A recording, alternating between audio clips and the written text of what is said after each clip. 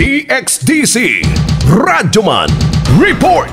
Naka-file na og request for repatriation sa Department of Migrant Worker 11 ang bana sa OFW nga nag-suicide sa nasod Duquaid nga taga Barangay Alihal, Carmen Davao del Norte.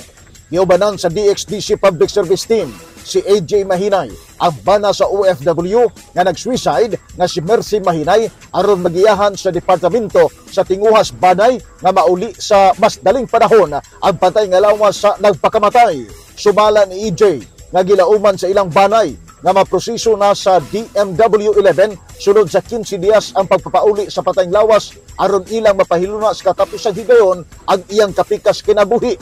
Nakikalayon usab ang DXDC uban sa bayaw sa OFW nga si Jonalyn Mahinay sa Overseas Worker Welfare Administration kun OWA 11 aron masayran sa banay kung adunay badawat ang bana nga benepisyo gikan sa ahensya. sila daw tong i-verified para pag maabot na ang iyahang kuan, iyang bangkay, yung patayng lawas is kailangan lang man daw nila ng ano, police report o autopsy result. Yun lang ang kailangan nila. Kasama mo sa balita ug serbisyo publiko, Radyo Bandudong Rin Lubosbong, Tatak Ariben. Tatak RMN